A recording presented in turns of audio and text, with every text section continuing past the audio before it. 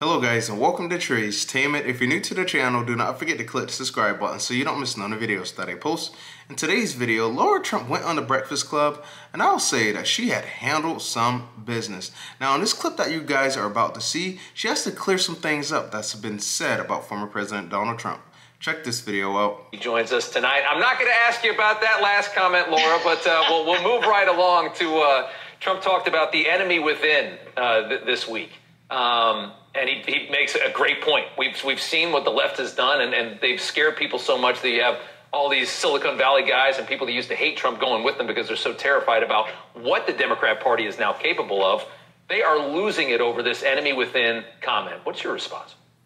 Yeah, well, they're they're going to have to fearmonger their way right through the next 15 days because Rob, they have absolutely nothing to show the American people that's going to make anyone want to vote for Kamala Harris, and they know it. They went hard on abortion. It's really not panning out for them. They cannot talk about the economy. They cannot talk about the southern border. They cannot talk about safety and security. They sure as heck can't talk about peace through strength because take a look around, ladies and gentlemen. So, this is the next thing that they're going to try to do. They are constant fear mongers and they're going to do it for the next 15 days.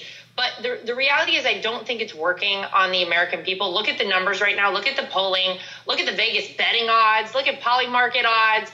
Look at everything and look at the way that you have Democrats now jumping ship to get away from Kamala Harris. These are senators who are in really tight races in their states, and they are actually running at because everybody know what's been going on and they do not want to deal with it. Listen, they tried pushing everything everything that they've thrown at former President Donald Trump, he has stand tall. He has stand tall, no matter what they thrown at him. He has stand tall and say that he means business. You got to think, he can be out doing a lot of other things, but instead, he want to fight for this country to make it great again. You know, with the assassination attempts and everything else that they thrown at him, he has not given up. Now, I don't know if you guys been seeing him, but he's been campaigning everywhere. He's been throwing multiple rallies. He's been doing these phone calls on these podcasts. He is doing a lot so that he can get this country back great again. Ads with Donald Trump in their ads in a very yeah. positive way. And that tells you all you need to know. So this whole play is not working for people. We've all mm. seen what they did to Donald Trump. We've all seen the way they've attacked him. Four indictments, uh, two impeachments, a mugshot two assassination attempts. Mm. We all know who the enemy within is that Donald Trump is talking about and referencing. You know it, I know yeah. it, everybody in this country knows it, and so do they. But this is their only play, and, and I think we're probably probably too used to it at this point. Yeah, it's exactly right. They've pried wolf too many times, and nobody mm-hmm. cares anymore because they just know it's all. Yes, they've been throwing everything that they possibly can throw at former President Donald Trump, and at the end of the day, he has not given up because he wants to make America great again. Look at what we've been dealing with, how could we not want change? You know, especially with this inflation, these prices are just crazy. The crimes that are happening are just crazy we need to get back to where we used to be. Now, Stacey Abrams, she was on CNN and she said something that I do not 100% agree with.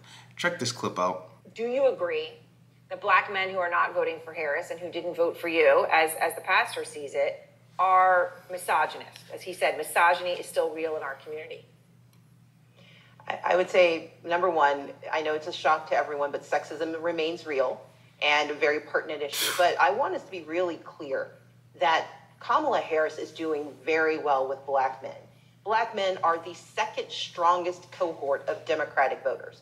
What we're seeing, though, is that she is showing them due respect by actually speaking to their issues. And those issues differ from other cohorts. I'm not quite certain why there is this panic about black men voting. They vote. In fact, they vote more than their counterparts in any other community for Democrats. However, we do have to acknowledge that there is sexism, there is racism, there are challenges in our electorate. And that's why it's so important that Kamala Harris is going everywhere and talking to everyone. She respects voters, she meets them where they are, and she refuses to be told that she has lost a cohort, lost a community simply because she's different. The best candidates recognize that you win by meeting people where they are, and Kamala Harris is doing that every single day, and we'll keep doing it for the next 14 days until we get to election day. Listen, so I don't know if she woke up and drank a full bottle of TDS, But I'm going to say this. The reason why there is panic is because people are making a different decision. They don't want to deal with what we've been dealing with. It's hard for people to make ends meet right now. It's hard to keep a roof over their head. You know, these prices are just insane. They're crazy. You go to the grocery store, it's crazy, you know? And with these interest rates, inflation, crime, nobody wants to deal with what we've been dealing with. Enough's enough, and people are tired of it. I don't blame them. You know, they want change. They want to continue what we've been dealing with. That's why there is a panic, is because they know that people are making a different decision and a different path forward because they want a brighter future. That's what it's all about. Now, in this next clip, I'm just to say this CNN had no choice but to admit this. Check this clip out. Jitters that are on the Democratic side is because that there's this feeling, and these polls are showing that Kamala Harris, Vice President Harris, is underperforming with Latino voters. And I think, you know, kind of what we've already talked about is Latino voters are not monolithic, right?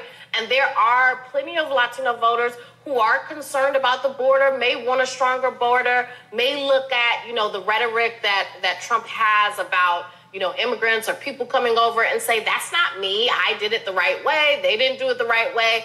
And he has an economic board, uh, an economic message and a pro-business message and an anti like socialism message mm-hmm. that can resonate with some Latinos. Yes, a lot of people have seen the things that we've been dealing with and they want a new path forward. You know, they want some big change because what's happening right now shouldn't be happening at all. Like this stuff that's going on shouldn't be happening at all. It never used to be like this. Like things are just so tough right now. And people are doing the best, you know, working 40, 50, 60 hours just to make ends meet. Nobody wants to continue with that. Let me know what you guys think about today's video in the comment section. That'll be a wrap for today's video, and I'll see you guys on the next one. Take care.